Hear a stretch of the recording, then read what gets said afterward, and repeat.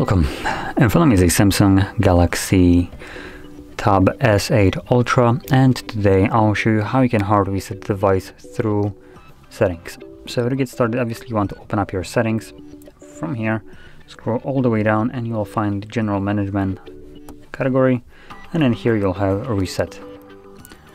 And you select reset and here you have factory data reset option and when you click on it it gives you info what it will remove right here so the first four things that removes, uh, you don't need to worry about. Those are the things that you can relog into and regain.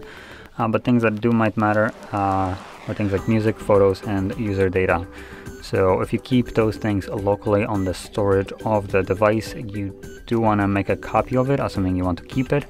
If you don't want to keep it, then completely disregard this and proceed further by selecting reset at the bottom.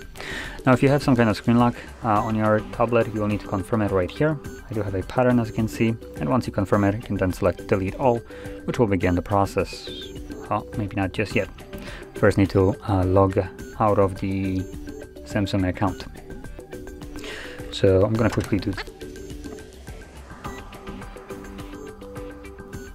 Okay, there we go. So I confirmed that and it's now uh, restarting the device immediately afterwards. So this will take about a minute or so to finish up and once it has, we should be greeted with Android setup screen. So I'll be back once that is visible.